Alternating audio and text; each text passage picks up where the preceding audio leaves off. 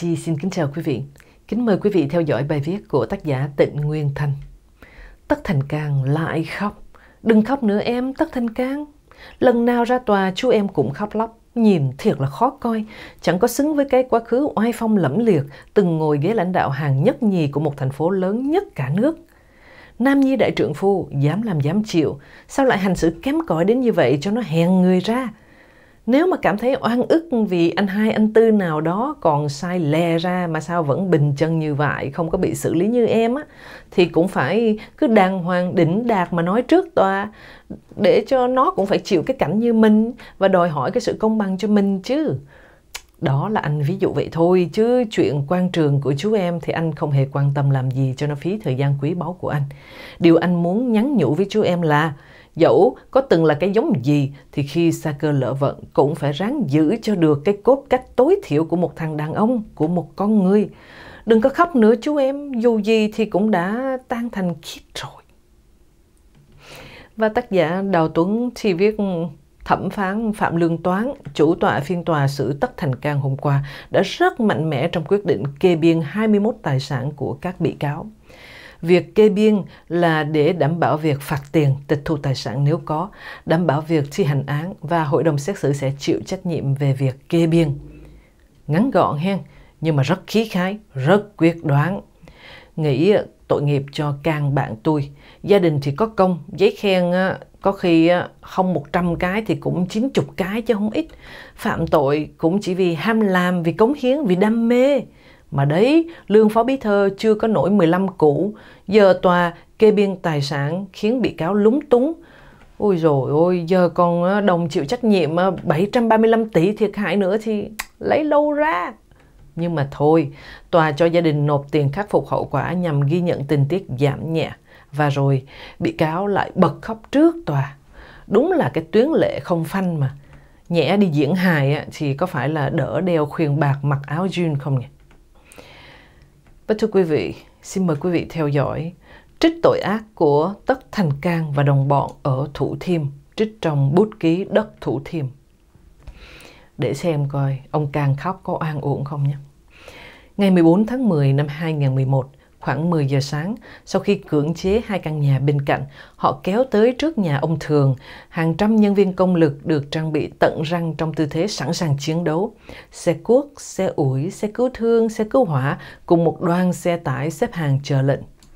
Biết mình không thể chống cự, ông Thường cùng với vợ con và cháu nội cháu ngoại chỉ biết khóc lóc đứng nhìn. Sau khi nhà chức trách đọc xong cái lệnh cưỡng chế, xe ủi xe cuốc xông vào sang phẳng ngôi nhà. Nhân viên công lực thì cầm cưa máy xông vào, quật ngã cây vườn.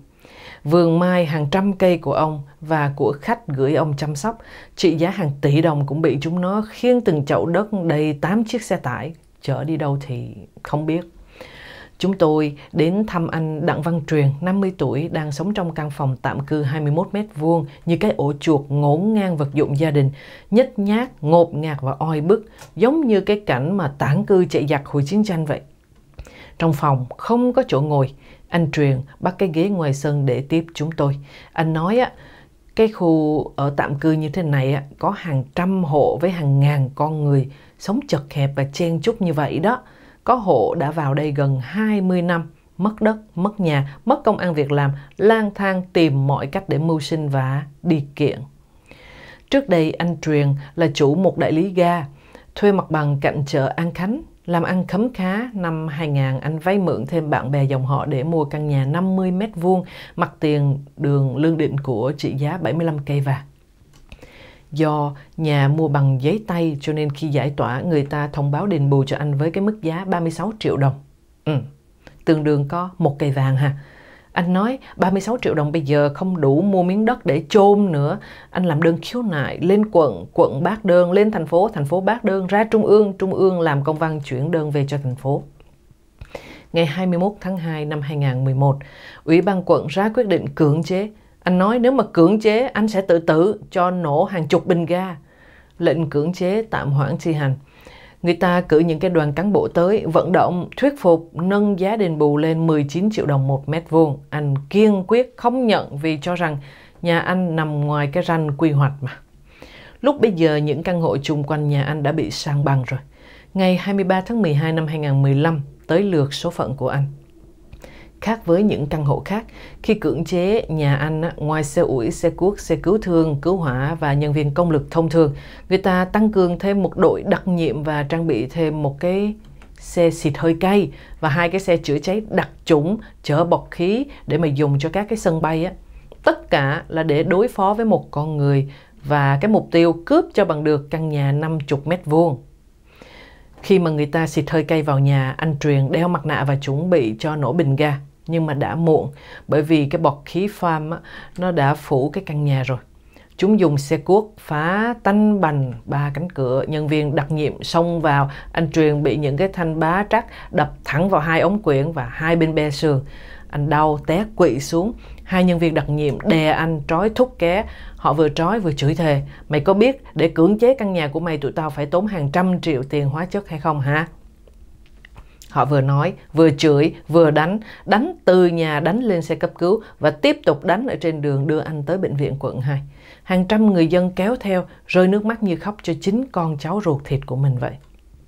Mấy ngày sau, họ cho anh xuất viện nhưng mà không có dám trao giấy chứng thương. Anh Truyền bị tràn dịch khớp gối, phải vào phẫu thuật ở trong bệnh viện Sài Gòn. Cái giá tử thủ với nhà chức trách là như thế đó. Mất nhà, mất đất, mang thương tật, mất thu nhập hàng chục triệu đồng mỗi tháng, sống cùng quẩn trong căn phòng tạm cư không biết đến bao giờ. Ba năm qua, anh cùng với bà con Thủ Thiêm mang đơn kêu cứu ra Hà Nội không biết bao nhiêu lần. Có lần ăn dầm nằm về ở ngoài hai tháng trời, nhưng vô vọng. Năm 1992, ông sang Thủ Thiêm cùng với người mẹ và người em trai đi mua gần 3.000 mét vuông đất nông nghiệp. Ông Quang còn nhớ, ở đó có cả cái chuồng trâu và cái ao rau muống của người chủ cũ. Cuộc sống ban đầu dựa vào những cái công việc đồng án, đặt trúm, đặt lọp, đặt lờ, dân lưới, cắm câu. Dần dần ông Quang tu bổ nhà cửa dựng lên một cơ sở từ thiện và tôn giáo gồm một nhà nguyện, một thư quán hướng đạo, một phòng y tế, có cả một nơi dành cho học sinh sinh viên nghèo, bệnh nhân nghèo và người già neo đơn không nơi nương tựa. Ở đây lúc nào cũng có hơn 100 người tá túc. Ông Quang vận động nguồn gạo, họ tự trồng rau, kiếm cá và tự quản. Người mạnh chăm sóc cho người bệnh và phân công công việc cho nhau như một đại gia đình.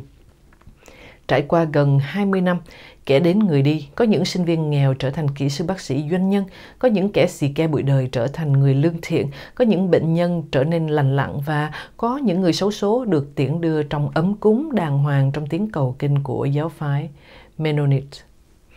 Thế rồi, tang thương ập đến, ông Quang cùng với hơn 100 con người cơ khổ ấy đã phải chịu chung số phận với hàng vạn đồng bào trên đất Thủ Thiêm. Ngày 14 tháng 12 năm 2014, hàng trăm nhân viên công lực tới, bao vây, họ dùng loa phóng thanh đọc lệnh cưỡng chế, rồi xông vào, bắt trói, đánh đập hàng chục người, quăng lên xe công vụ, chở đi. Trong đó có bà Trần Thị Chuốc, 73 tuổi. Bà Chuốc vào đây chữa bệnh cùng với đứa cháu ngoại bị bại liệt. Sau khi lành bệnh thì bà tình nguyện ở lại làm tạp vụ và chăm sóc cho đứa cháu tật nguyền. Hôm ấy bà phản đối không chịu đi, liền bị nhân viên công vụ hốt quăng lên xe. Họ quăng bà từ trên cao rớt xuống, bị gãy be xương và bị chấn thương nặng. Họ đưa bà đi cấp cứu, nhưng bà Chuốc không có qua khỏi. Ông Quang lên phường xin đưa bà về chỗ cũ để làm đám tang theo nghi thức của đạo. Nhưng ông liền bị nhốt lại, rồi sau đó người ta đưa xe công vụ tới chở bà Chuốc đi hỏa tang. Hai hôm sau, ông Quang được thả ra. Khi mà ông trở về chỗ cũ thì hỡi ơi, hơn 500 mét vuông nhà tiền chế, ao cá hàng chục tấn, vườn kiển, vườn cây cổ thụ, tất cả đã thành cái đống xà bần vụn nát. Cùng số phận với khu vườn nguyện của ông Quang, chùa Liên Trì, đình thần An Khánh cũng bị sang bằng. Hôm cưỡng chế ở chùa Liên Trì, Nhà sư Thích Không Tánh bị ngất xỉu tại chỗ. Người ta đưa ông đi cấp cứu. Đến khi trở về, ông chỉ còn biết cầm cây nhang quỳ xuống đống gạch ngói đổ nát. Tất cả tượng Phật và hài cốt Phật tử cùng với vật dụng thờ cúng ở trong chùa, người ta chở vào nhà kho. Ông Lê Văn Tốt, trưởng ban quý tế đình Thần An Khánh, nói rằng cái hôm giải tỏa ngôi đình, ông không đủ can đảm để chứng kiến. Ông ngồi nhà mà nghe nhói ở trong tim, ruột gan như ai cào cấu. Ông Tốt đưa chúng tôi xem bức ảnh của một người nào đó tặng ông. Bức ảnh chụp lúc giải tỏa lăng mộ tiền hiền Trần Thông Quân và phu nhân. Ông nói ở nước ta đó, hiếm có ngôi đình nào mà có được lăng mộ của tiền hiền Vậy mà vì lòng tham, người ta sẵn sàng quật mồ của tổ tiên, người đã có công gây dựng nên đất Sài Gòn gia đình. Một không gian cho lễ hội kỳ yên tưởng nhớ tiền hiền khai khẩn, hậu hiền khai cơ gần 2.000 mét vuông đã bị tước đoạt tất cả vật dụng thờ cúng sắc phong hài cốt linh hồn của tiền nhân giờ phải náo nương ở trọ ở trên đình Long Phú. Đau xót biết chừng nào, quả báo này sẽ thuộc về ai? Quý vị nghe cái hồi ký của người dân Thủ Thiêm để mà thấy Tất Thành Cang ra đứng khóc tu tu ở ngoài tòa như vậy, coi có được không? Có oan ức cái gì để mà khóc hu hu ở trước tòa như vậy?